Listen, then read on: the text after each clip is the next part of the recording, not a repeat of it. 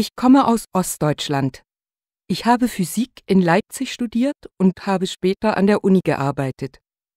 Seit 1990 bin ich in der Politik. Die amerikanische Zeitschrift Forbes hat geschrieben, dass ich die wichtigste Frau auf der Welt bin. Naja, ob das stimmt? Ich arbeite seit 2005 in Berlin in einem Haus, das ein bisschen wie eine Waschmaschine aussieht. Ich weiß aber nicht, wie lange ich in diesem Haus arbeiten darf. Vielleicht bis 2021? Wer weiß?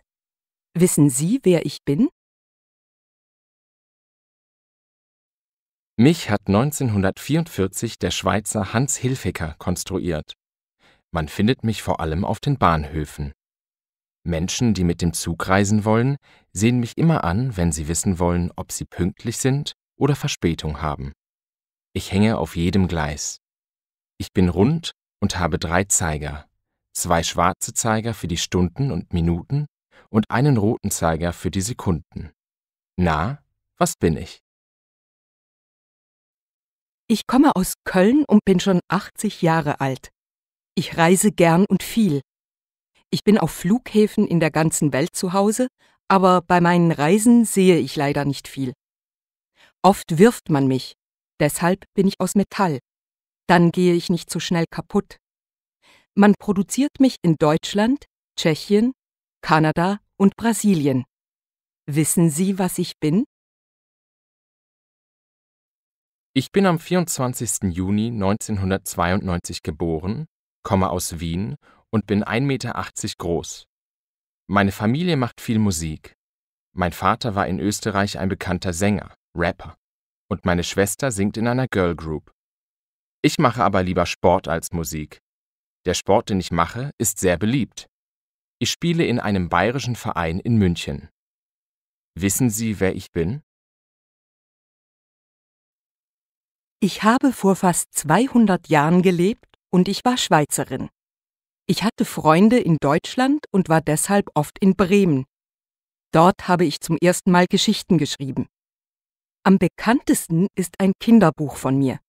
Eine Geschichte über ein kleines Mädchen, das ihren Großvater in den Bergen besucht. Das Buch ist weltweit bekannt. Es gibt auch Animationsfilme über das Mädchen, das Heidi heißt. Wer bin ich? Mich gibt es schon seit über 160 Jahren. Ich komme aus Hamburg, aber ich habe auch eine Familie in New York. Wir alle zusammen sind eine große Familie. Ich habe viele Brüder und Schwestern. Ich bin sehr teuer, oft teurer als ein Auto. Ich stehe in vielen großen Konzerthallen auf der Welt. Man kann mit mir alleine Musik machen oder auch zu zweit. Zum Spielen braucht man beide Hände. Na, was bin ich? Ich bin in der Stadt Ulm in Deutschland geboren und bin in den USA im Jahr 1958 gestorben. Ich habe in Zürich studiert. Mein Lieblingshobby war Geige spielen. Ich habe sehr oft Geige gespielt, am liebsten Mozart und Bach. Ich war zweimal verheiratet und hatte drei Kinder. 1922 habe ich den Nobelpreis für Physik bekommen. Na, wer bin ich? Wir kommen aus Österreich und unsere Firma gibt es schon seit 1895. Man hat für uns ein Museum gebaut, in Wattens, das ist in Österreich in der Nähe von Innsbruck. Besonders schön ist der Eingang in das Museum. Er sieht wie eine große grüne Figur aus, mit einem offenen Mund. Und was kann man in dem Museum sehen? Na, uns selbstverständlich. Und viele von unseren Schwestern und Brüdern. Sie haben oft eine andere Form, sind eine Kette, ein Ring oder auch ein Tier.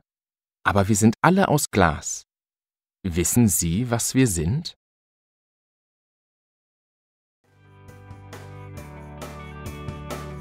Liebe Hörerinnen und Hörer, wir sprechen heute mit Leonhard Wilsberg, dem Geschäftsführer bei idealpartner.de, einer Single-Kontaktbörse im Internet. Herr Wilsberg, Ihre Firma hat eine Studie gemacht und hat gefragt, was Frauen und Männer bei einem Partner am wichtigsten finden.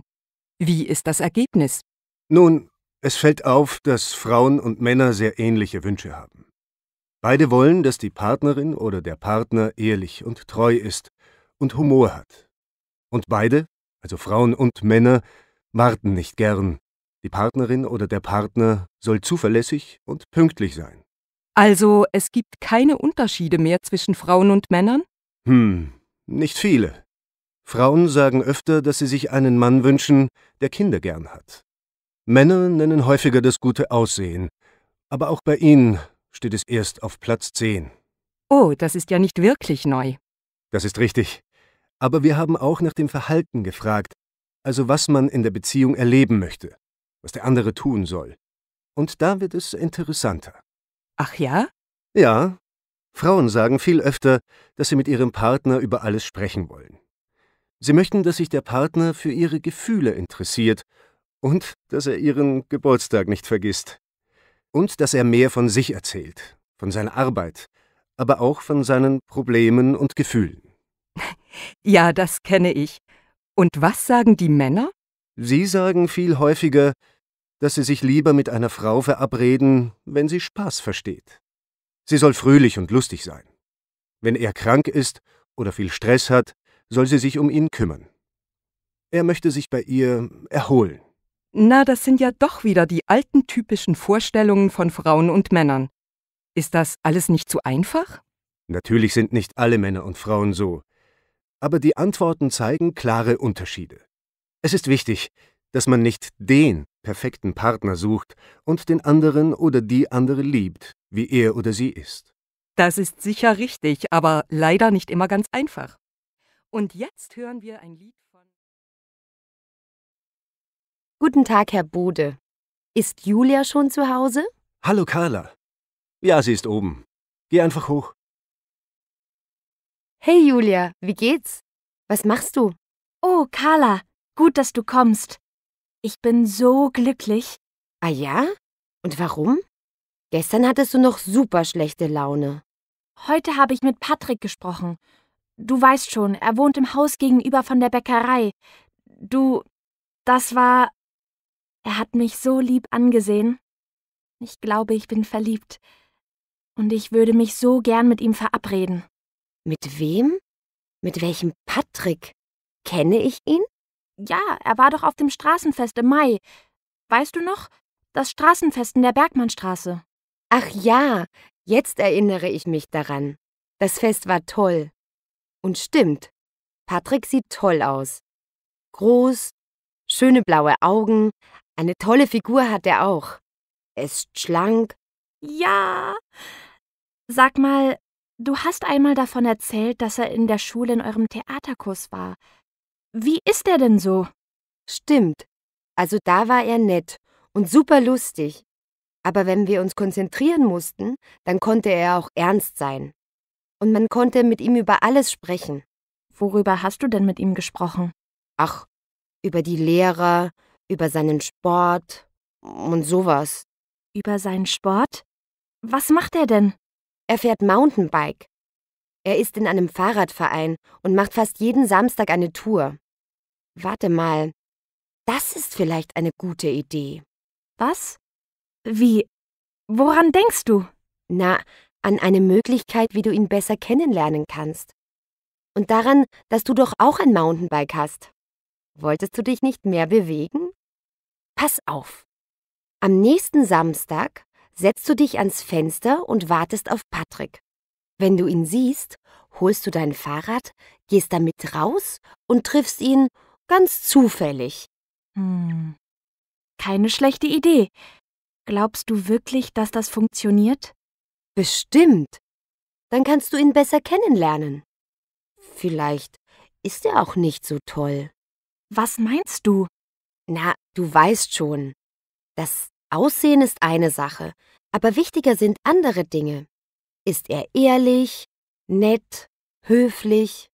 Kurz, will man mit ihm wirklich zusammen sein? Stimmt. Aber er ist so süß. Und nett ist er auch. Ich muss immer an ihn denken.